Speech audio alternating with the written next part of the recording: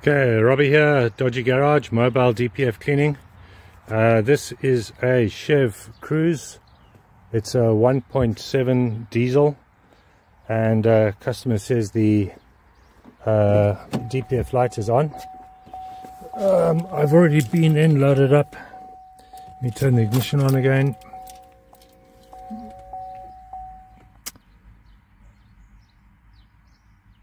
Um, let's have a look here. I've already gone into the system, so we want exhaust after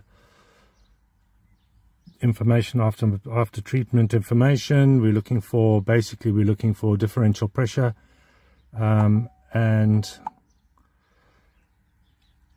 you know see it's there. Okay that's what we're looking for. So we're looking for anywhere between 0 and 10 um, millibars. We just change it to HPA HPA and millibars are the same thing um,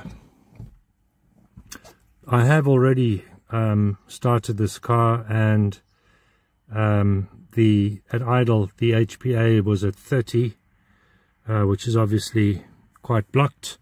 Uh, I'm not going to start it now and the reason being is because I have the oxygen sensor open. I've uh, taken off the oxygen sensor. Let me show you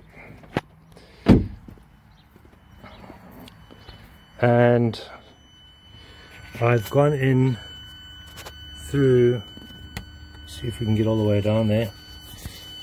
Uh, and if I can see. So can you see there? Okay so that's where I've got in through that oxygen sensor hole there. And so I've cleaned out the DPF right next to the turbo. So I did that with the engine idling uh, this here is the oxygen sensor that I've just taken out. Let me see if I can get it. Here it is. There's the oxygen sensor I've taken out. I'm going to give that a bit of a clean in a moment. And uh, if you go to the back of the car you can see there's a lot of uh, chemicals that's coming out of the exhaust there. So what I'm doing at the moment is I'm waiting for half an hour. The chemicals are in the DPF um, I'm waiting for half an hour for the chemicals to do their do their thing. I'm going to uh, reconnect uh, clean up that oxygen sensor reconnect it. But uh, the main information is that at idle it was at 30 millibar and at 3000 revs it was at 900 millibar. And ideally you want the um, millibars at uh, 3000 revs to be anywhere between 40 and 80 millibar.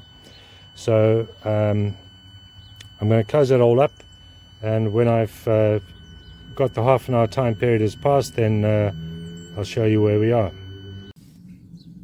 Okay the next thing is is uh, read fault codes again. Retrieve the fault codes.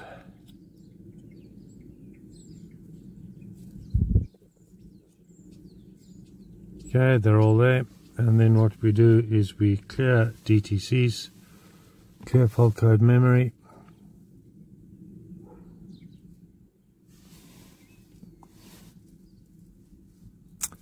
Okay and uh, magic. There are no DTCs yeah all in theory that's not fixed. The camshaft issue though. Okay, so the information that I've pulled up here is now relevant to when I start up the engine again. We're at 0849. I'm waiting for it to go to, I mean 0949, I'm waiting for it to go to 0950. Then we start it up, bring it up to temperature, and we're going to be watching the exhaust gas pressure will invariably raise quite a lot because there's fluid inside there and it needs to clear out all that uh, soot that's in there. Then um, I've reset the DPF so it thinks that uh, time since last generation is at zero kilometers. And um, I've reset the oil as well because in these cars it's important that the oil life gets changed. So I've reset that. I have explained to the lady that uh, the oil definitely needs to be changed again because it's at full.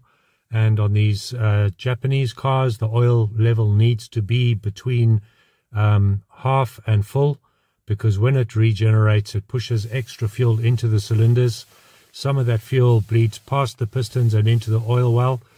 and slowly but surely raises the oil level. So that's uh, then called oil dilution because now it's diluted the oil with diesel. So you don't want that. So with that, the car should then start doing its own regenerations as well because now the oil is at zero again. So we're at now 51. Start her up.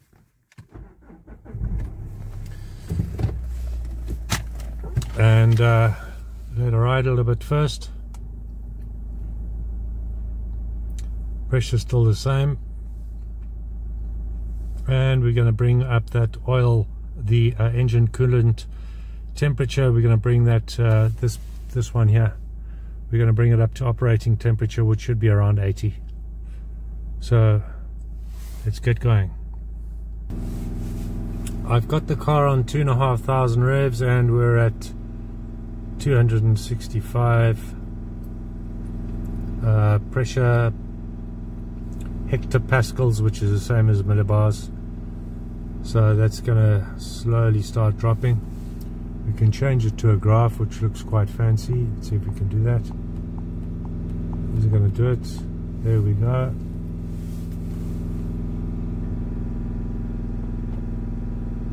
And that's what you want to see the pressure inside the DPF dropping big time.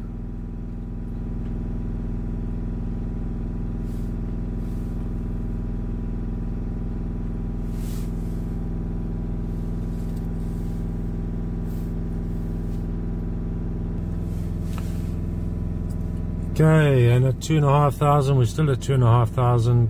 Engine coolant temperature 74 degrees so still raising we're already at uh, 51 52 HPA that's the one there. Um, and that's at two and a half thousand revs.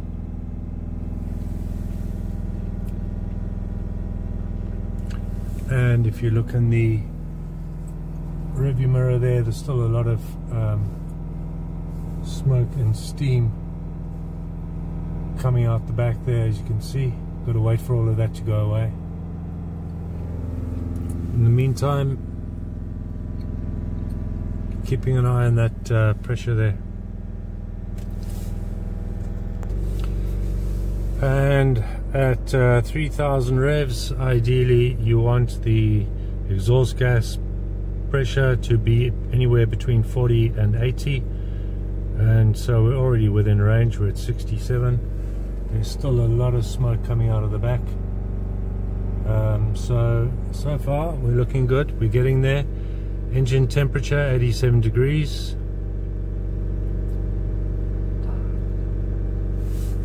We're looking good so far.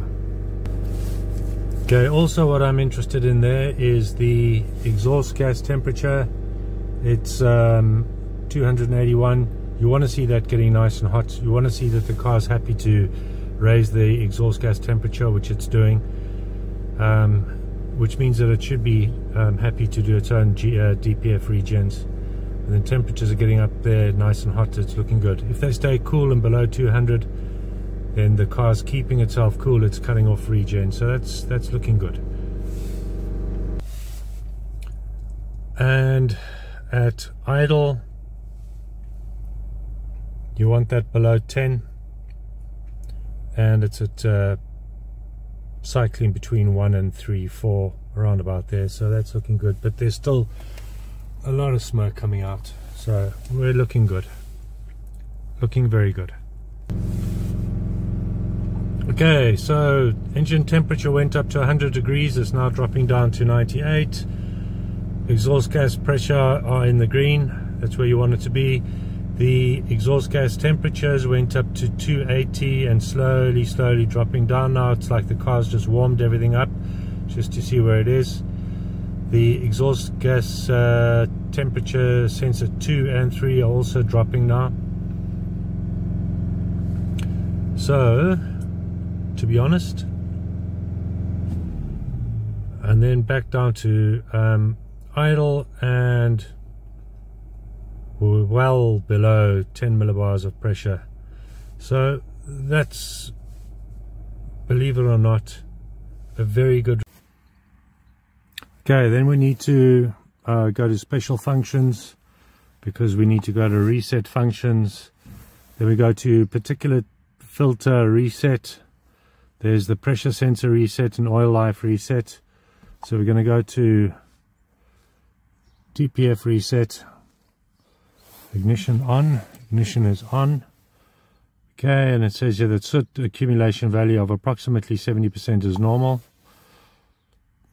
Press confirm button to start the process, communicating.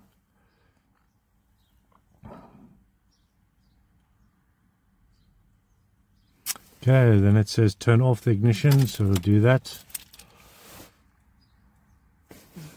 And we've got to wait for some time. Okay, that's done. Uh,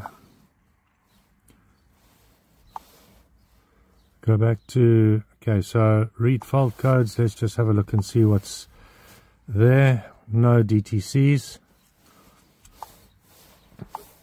And read data stream. We're going to bring this car back up to temperature again.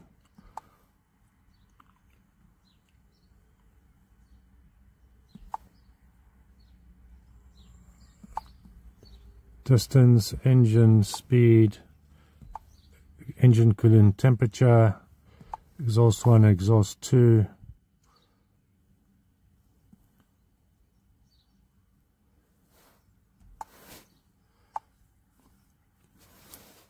Change that guy to HPA. Okay, I'll have a look at it shortly. Okay, we're going to start her up.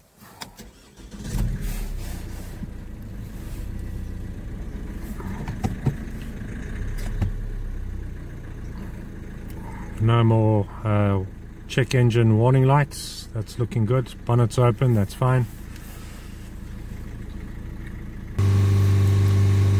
Okay so 3000 revs with 60 70 HPA and at idle we're down to zero. That's it. That's what you want to see. That's all good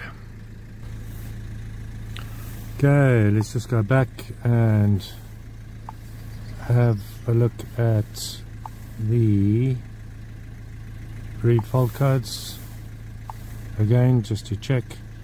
Nothing no DTCs uh, bada, bada, bada. go back here. Gonna go out here. And I'm actually going to rescan the car